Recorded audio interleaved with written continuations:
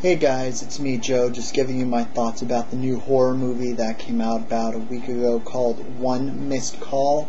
It is an American film that actually, or American remake, that is based off of the original Japanese film that was by the same name, but I'm not going to attempt the Japanese translation. Um, but I thought it wasn't that bad for um, for a remake. I haven't seen the original, so I really can't compare the two, but I know I will see the original at some point, which I normally do. But One Missed Call, um, the whole story is you get a call on your cell phone saying that you have missed a call, and on that uh, you check your voicemail, and it happens to be um, one of your friends that's about to die two days um, before your friend's death actually happens, but you actually hear your friend's last words seconds before they die.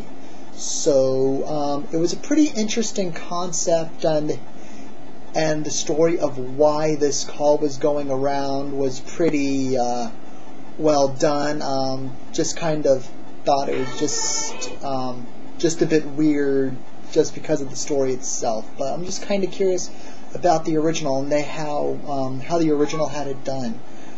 But uh, it was kind of funny because see how gullible people actually were at the end of the movie about their whole um, checking their cell phones to see if they actually had a missed call and to see what it was. Um, it was pretty funny on that standpoint.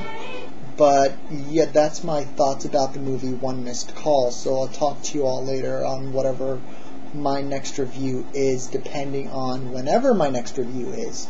So take care, guys, and uh, talk to y'all later. Bye.